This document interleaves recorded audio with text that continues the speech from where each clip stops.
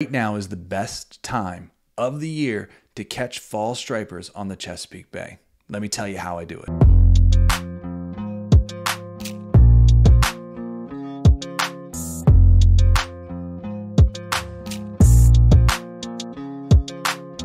All right, so to understand where to fish for fall stripers, you have to understand that stripers, first of all, migrate. Rockfish move up and down the bay throughout the year, up and down the river and stuff like that. And fall is the time that they really start looking, as that water cools down, they start looking for warmer water. They're actually following the bait out of the rivers too.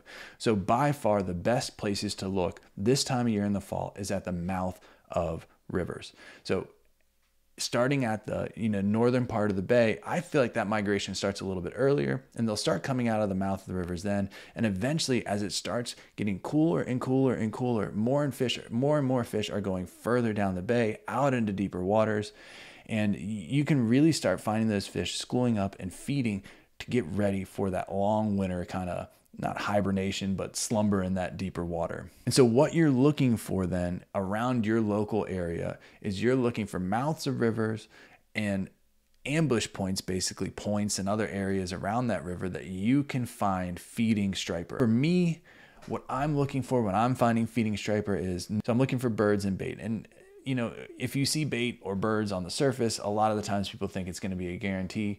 You know, it's not. Sometimes they're the smaller baits with Lorraine minnows instead of the bigger bait, menhaden, or sometimes they're smaller birds and terns instead of the bigger birds, gulls. And you kind of got to weed through and get a feel for what the right look for your area is. I would say one of the biggest things is when you're learning your river and you're learning, you know, your area and your specific spot, you really want to look at historically what's happened. Talk to other fishermen, talk to other anglers. You don't have to ask for specific spots, but ask for a pattern that they're seeing out there, and you can kind of gain um, enough institutional knowledge to really figure out how best to target them. So look for those birds, look for the bait, but also your sonar. Really start to learn how to use your sonar. And there's so many great resources out there on how to do it, whether it's the Sonar Kings or different Facebook pages that you can really learn what you're looking at. But one of the best ways is set up over a school of fish that you found and really pay attention to what the sonar marks look like. So if you get lucky enough and you're on breaking fish, I know it gets so exciting to be out there and casting and catching fish, but take five minutes just to watch your sonar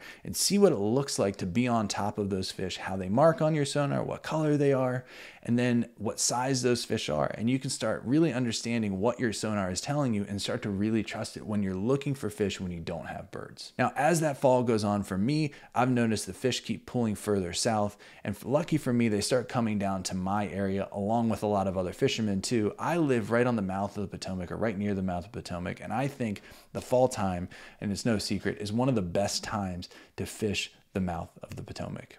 Now, it can be the most crowded time of the year down here. Normally, I see maybe one or two other boats fishing out here with me, but in the fall time and into the early winter time, I see sometimes 30, 40, 50 boats all around the mouth of the Potomac fishing different areas. And one thing I want to say if you are planning on coming down here, and a lot of people forget this, it's big water down here. It's not like the northern part of the bay, you know, around Annapolis or West River or South River, where you get a little more protection from the land on the eastern shore, western shore, and the different rivers you know, there's some areas of the Potomac, especially at the mouth, where the wind can really kick up, a whole lot of current can come out, and it can get big, big, big, and nasty quick. And with combine that with cold water, it's not a place to be if you're not really sure of what you're doing out there. So now you made it down to Point Lookout. You know, you followed this migration down. You found the fish at the mouth of your river. You know, and you really put that plan into place. And now you're coming down to one of the biggest rivers on the Chesapeake Bay, um, the Potomac River, and you're going to fish it the same way. You're looking at the mouth of that river,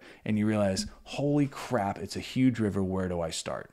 So let me give you three tips that are going to help you if you're coming down to Southern Maryland and you're fishing this Point Lookout area. Three things that I always do every single time I go out to fish for stripers in the fall slash winter time. Honestly, the biggest thing is, and a lot of people preach this, you know, I've heard Sean Kimbrough and, and all the famous Chesapeake Bay English talk about this a bunch, is you got to leave the crowds. But that's so much easier said than done. And sometimes, honestly, I'll go to the crowds just to get that confidence and understand what they're fishing on so then I can get a good idea of what the fish are doing and move away after that. But they're right. You need to leave the crowds not because they're not maybe on good fish, but because the fish will spook pretty easily around all that boat traffic, around all that noise. And so if you can find fish outside of those crowds and find fish away from it, it can be a lot easier for you to catch quality fish and even catch quantity of fish as well. All right, my number two tip is the best times to fish. So for me, an outgoing tide in the afternoon is my absolute favorite time to fish the lower Potomac River and that area out there in southern Maryland. I think it provides the most fishing opportunities in the most areas, and I've caught my biggest fish during those kind of tides. My number two favorite time would definitely be any outgoing tide. So, anytime there's an outgoing tide, that's when I tried to time up my fishing because I think it makes a big difference having that water, that warmer water flush out of the river and all that bait flush out of the river for those stripers to, to attack. And then, of course, my third favorite time is the afternoon. So if you can't get out there during an afternoon or so if you can't get out there during an outgoing tide, or maybe you can only get out there in the afternoon or only at one time of the day, I still think the afternoon is the best because a lot of times that water has had a chance to warm up and the fish just seem more active too. My third and final tip when you come down here to fish, and I think a lot of light tackle anglers can have this problem, um, you know, is to be patient many people run by so many great spots or just um, go past so many great spots because they're in the rush to go to the next spot. So when you're out there in this big water, I know it can feel like I need to chase the next bite. I need to find the next one. I need to run as far as I possibly can. And you can hit home runs when you're doing that and you can find a bunch of fish when you're doing that. But my key when I'm down here as someone who fishes this area regularly is to be patient. I'm confident in the areas that I've found, um, you know, fish in years past. And so what I'll normally do is I'll sit and I'll wait and I'll listen. Now that doesn't mean I'm sitting in one spot. I'm running around, checking out bird show, bird shows that are out there, looking at different conditions, watching the tide, and just keeping myself in the general area that I want to be. So when birds do pop up or when fish do pop up, I'm able to be there instead of being, you know, 20, 30 miles away chasing some sort of radio chatter that, you know, is non-productive.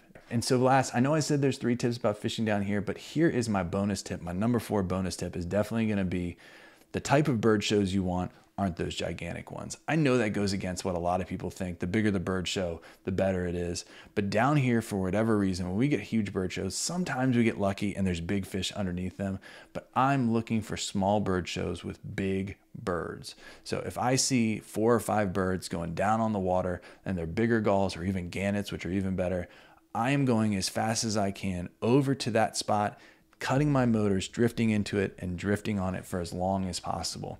A lot of the times, that's where I catch my most quality fish are on those smaller bird shows. Now, if I can have that smaller bird show on like a drop off or some sort of channel edge, that makes it even better. All right, so hopefully this information was helpful and will make you prepared for this upcoming great bite in the fall Chesapeake Bay striper fishery. Make sure you leave a comment below. Tell me where you like to fish and how you like to fish. All right, hope to see you on the next video. Make sure you click the subscribe button, click the like button, and click the bell so you're notified every single time we put out content. See you on the next video.